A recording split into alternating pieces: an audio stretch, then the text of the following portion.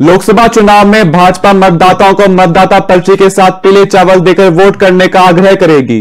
मतदान प्रतिशत बढ़ाने के लिए भाजपा ऐसा करने जा रही है। भाजपा प्रवक्ता सत्येंद्र जैन ने बताया कि बीजेपी के कार्यकर्ता घर घर जाकर मोदी जी की राम राम कहकर पीले चावल देकर जनता से मतदान करने का आग्रह कर रहे हैं। प्रदेश के चौसठ बूथों पर बूथ प्रभारी और पन्ना प्रमुख की ज़िम्मेदारी तय की गई है। इसको लेकर बीजेपी का कहना है कि चुनाव आयोग की तरफ़ से सभी व्यवस्थाएँ रहती हैं, लेकिन भाजपा कार्यकर्ता भी मतदान प्रतिशत बढ़ाने में सहयोगी की भूमिका निभाएँगे। जिस प्रकार से मोदी जी की जो सैकड़ों योजनाओं के द्वारा विकास भी किया गया है और विरासत को भी समृद्ध किया है 500 साल बाद भगवान राम का मंदिर भी अयोध्या में बना हुआ है तो निसंदेह उस भगवान रूपी जनता से भी हम आशीर्वाद मांग रहे हैं कि भारतीय जनता पार्टी को आप विजय श्री का आशीर्वाद दीजिए। धारा 370 को जो राष्ट्र रक्षा का एक सबसे बड़ा यज्ञ था, उसको हमने कश्मीर के अंदर धारा 370 को एब्रोगेट किया। निष्प्रभावी किया, जिसके कारण आज बाबा साहब अंबेडकर का जो संविधान है, उसको इतना वर्ष लग गए कश्मीर के अंदर लागू होने में, जम्मू कश्मीर में।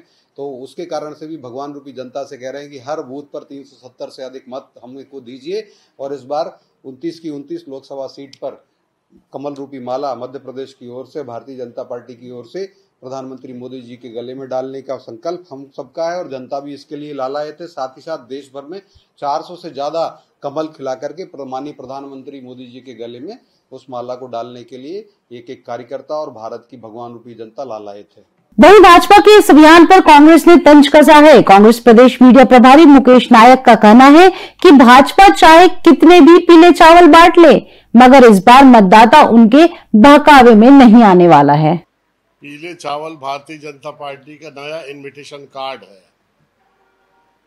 और बन गया है नया नया आमंत्रण पत्र। अभी राम जन्मभूमि को लेकर घर घर पीले चावल लेकर गए थे। प्राण प्रतिष्ठा जब हुई थी। उनके कार्यकर्ता साल में दो तीन दफे धार्मिक आयोजनों को लेके और अलग अलग कोई भी विषय उठा के पीले चावल देने घर घर जाते ही हैं। कोई नई बात तो है नहीं। तो पीले चावल, भारतीय जनता पार्टी का नया इनविटेशन कार्ड है।